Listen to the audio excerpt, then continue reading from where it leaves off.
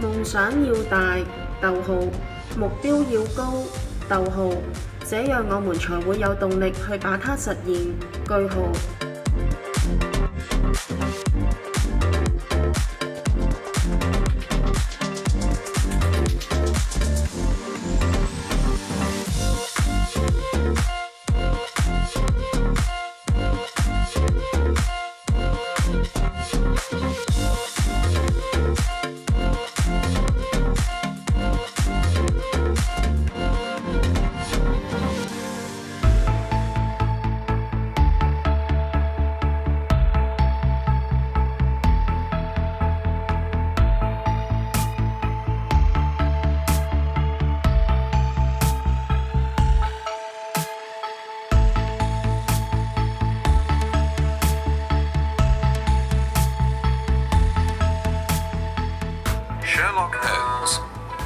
The Naval Treaty.